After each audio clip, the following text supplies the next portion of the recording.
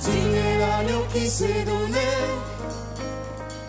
Digne le roi qui est ressuscité. Digne l'agneau qui s'est donné. Digne le roi qui est ressuscité. Digne l'agneau qui s'est donné. Digne le roi qui est ressuscité.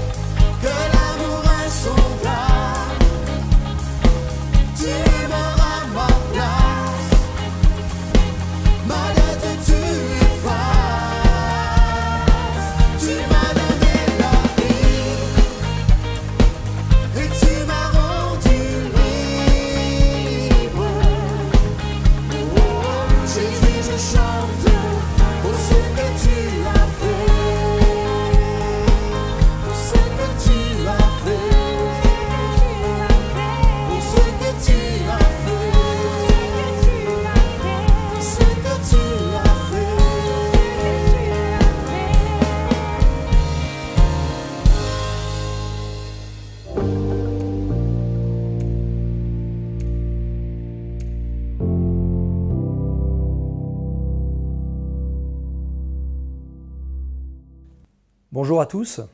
Dans le cadre de la semaine de Actes 2021 sur le thème de l'essentiel, j'ai euh, le privilège de partager le message de l'Évangile avec vous.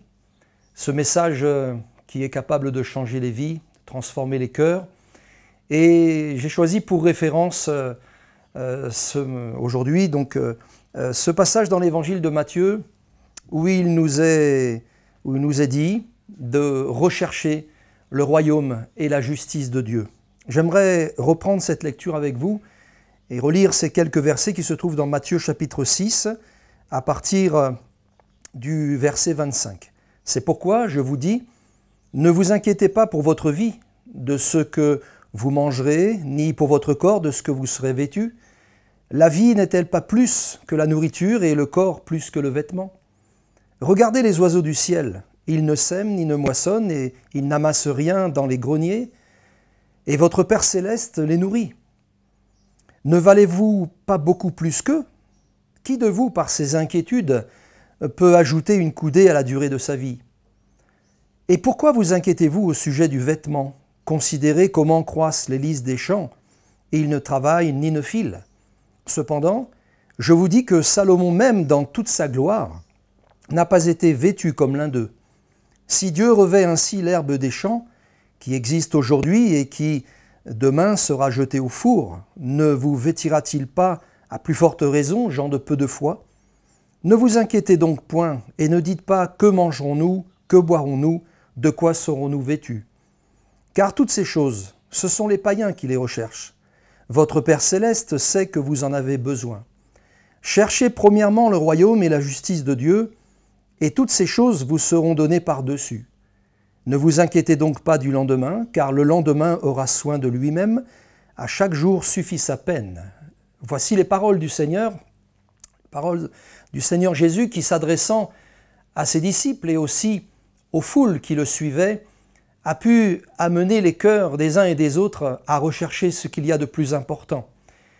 Premièrement, j'aimerais souligner le fait que l'essentiel n'est pas dans le matériel, ni dans ce que l'on peut posséder. Jésus lui-même a dit que la vie d'un homme ne dépend pas de ses biens, fut-il dans l'abondance. C'est donc un piège pour l'homme que de se confier dans ses richesses et de ne vivre que pour les biens terrestres. Jésus a dit aussi que, que servirait-il à un homme de gagner le monde s'il perd son âme? Que donnerait un homme en échange de son âme? Dans le texte de référence que nous venons de lire, Jésus nous enseigne donc euh, à lui faire confiance afin de ne pas vivre dans une inquiétude permanente au sujet des choses eh euh, dont Dieu sait pourvoir.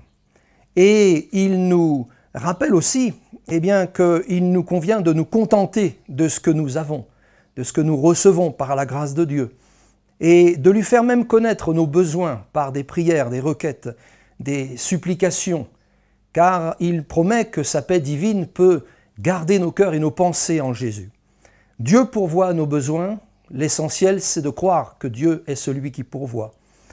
Il nous met aussi euh, en garde, le Seigneur, contre toute cupidité, car si l'inquiétude est quelque chose de néfaste pour le cœur de l'homme, la cupidité n'en est pas moins. Et le Seigneur nous dira, ne vous amassez pas des trésors sur la terre, là où la teigne, elle rouille, là où il y a eh bien, des voleurs qui, percent et qui dérobent, mais amassons-nous des trésors dans le ciel, là où il n'y a ni teigne, ni rouille, ni voleur. Et le Seigneur ponctuera cet enseignement en disant, car là où est ton trésor, eh bien là aussi sera ton cœur. Donc j'ai voulu introduire cette pensée simplement pour dire que l'essentiel n'est pas dans le matériel, dans les choses que nous pouvons posséder momentanément. L'essentiel, où est-il? Je reviens sur cette parole de Jésus qui dira Que servirait-il à un homme de gagner le monde s'il perd son âme? Chers amis, l'essentiel, c'est de recevoir le salut, le salut de son âme. Au travers de ce message, chers amis, nous avons bien conscience que rien n'est plus important que le salut de notre âme. Au temps du commencement de l'Église, il y a 2000 ans, les apôtres, les premiers disciples de Jésus, ces apôtres ont insisté sur le fait que le plus important était le salut de l'âme. Pierre, qui était un des apôtres de Jésus, eh bien, a enseigné euh, la foule et il a continué en insistant. La Bible nous dit qu'il continuait avec insistance à leur adresser euh, d'autres paroles pour les persuader et les encourager, leur disant Recevez le salut. Repentez-vous de cette génération, séparez-vous de cette génération pervertie par le péché, repentez-vous afin que vos péchés soient effacés et recevez le salut.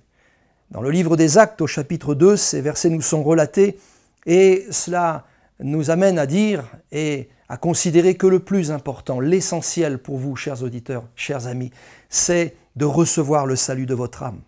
Nous nous adressons à vous comme Jésus s'est adressé à ses contemporains.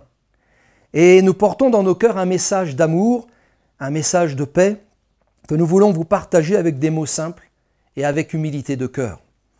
Nous croyons que Jésus-Christ est vivant et qu'il n'a pas changé.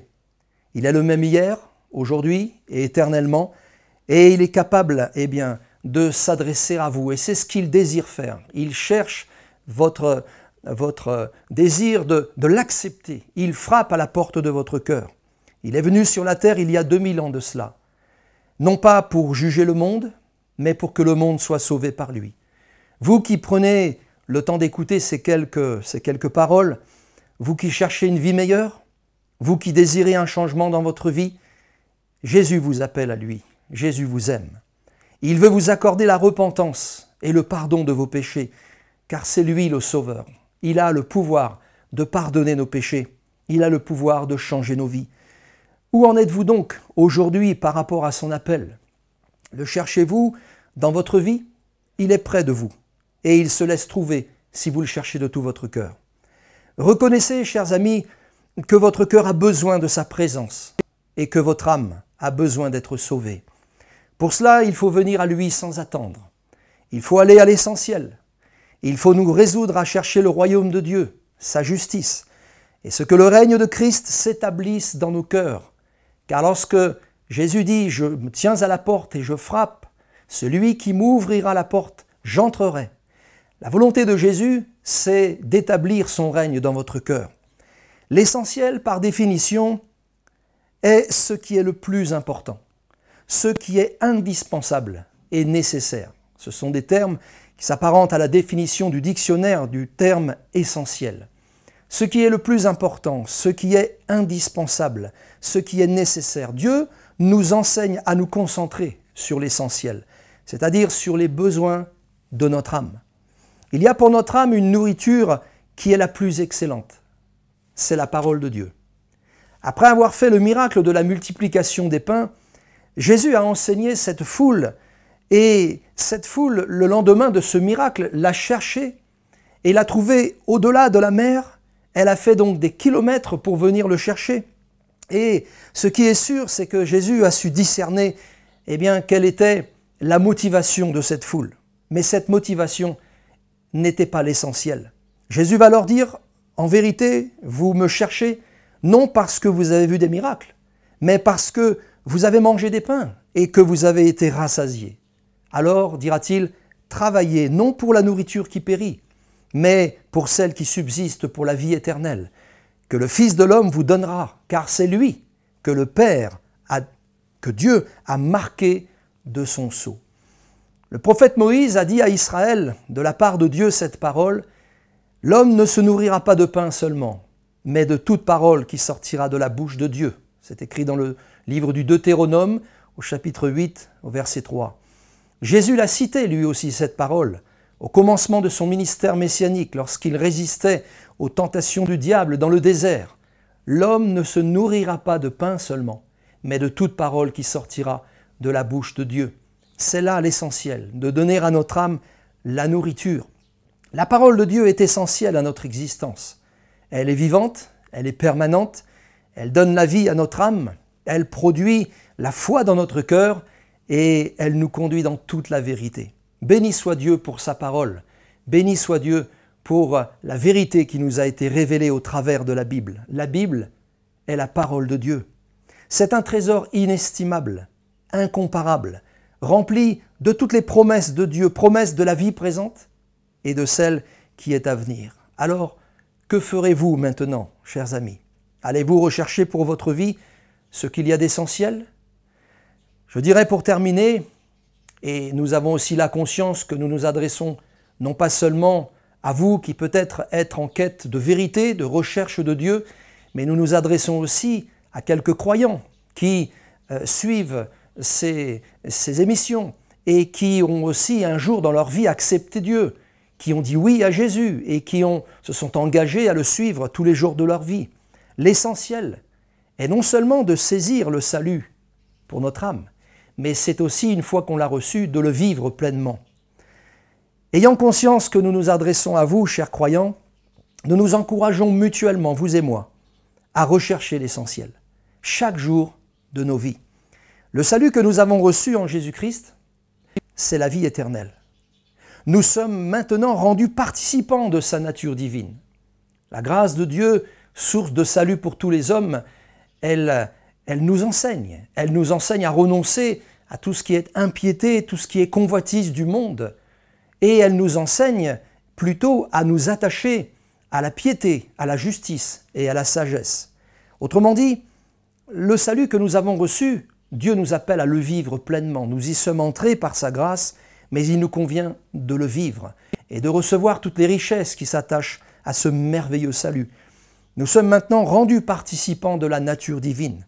Ce n'est plus la vieille nature qui doit dominer, ce n'est plus nos pulsions charnelles et humaines, ce n'est plus notre nature humaine et corrompue eh bien, qui doit prévaloir. C'est plutôt Christ qui vit en nous. Et vivre son salut, c'est laisser le règne de Christ s'établir durablement dans notre vie. C'est laisser la parole de Dieu nous convaincre de justice, de sagesse et aussi nous enseigner dans toute la vérité. Nous sommes tous appelés, vous et moi, en tant que croyants, à grandir, à progresser, à atteindre une maturité spirituelle que le Seigneur veut que nous puissions atteindre. Cette connaissance de celui qui nous a aimés me paraît essentielle. C'est là la volonté de Dieu. La Bible nous enseigne à nous attacher aux choses d'en haut. Si donc, nous qui sommes chrétiens, nous sommes ressuscités avec Christ. C'est une réalité. Notre âme était morte à cause du péché. Christ l'a rendue à la vie. Par la croix du calvaire, par son sacrifice parfait, nous sommes passés de la mort à la vie, des ténèbres à la lumière et de la puissance de Satan à Dieu. Si donc nous sommes ressuscités avec Christ, recherchons les choses d'en haut, là où Christ est assis à la droite de Dieu. Affectionnons-nous aux choses d'en haut et non à celles qui sont sur la terre et qui sont passagères. Nous sommes morts et notre vie est cachée en Christ, la Bible dit. Quand Christ, notre vie, paraîtra, alors nous paraîtrons aussi avec lui. Je conclurai en vous disant qu'il nous convient d'avoir nos yeux fixés sur Jésus. nos regards se fixent sur lui, et nous voulons vivre pleinement ce merveilleux salut qu'il nous a donné à la croix. Je citerai un dernier verset pour notre gouverne. Dans l'épître aux Corinthiens, la deuxième épître aux Corinthiens, l'apôtre Paul prend soin de souligner et ce fait que, de riche qu'il était, Jésus s'est fait pauvre, afin qu'en lui nous devenions riches. Car vous connaissez la grâce de notre Seigneur Jésus-Christ, dit-il. Vous, qui étiez pauvres, il s'est fait pauvre, de riche qu'il était, afin que par sa pauvreté, nous fussions enrichis. Nous pouvons dire, comme le prophète Jean-Baptiste, il faut donc qu'il croisse et que je diminue. Voilà la réalité de ce qui est essentiel pour notre vie. Aussi bien pour vous, chers amis qui ne connaissez pas encore la grâce qui vous est offerte, Dieu vous invite à y entrer, Dieu vous invite à y croire. Dieu vous invite à ne pas vous, vous, vous laisser encombrer l'esprit et les pensées par les biens de cette terre. Dieu est celui qui pourvoit à nos besoins.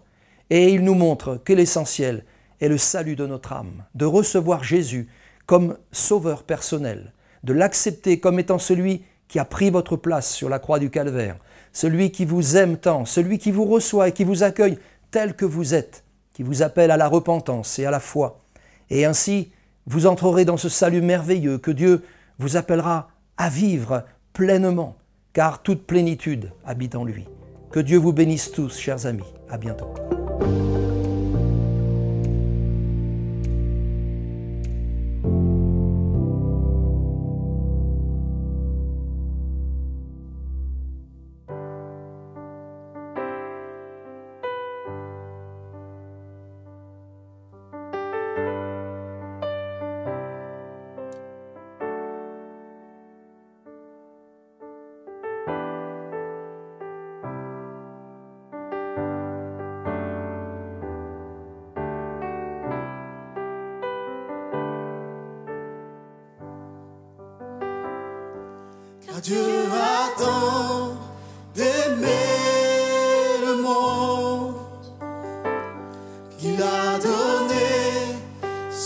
Son Fils unique afin que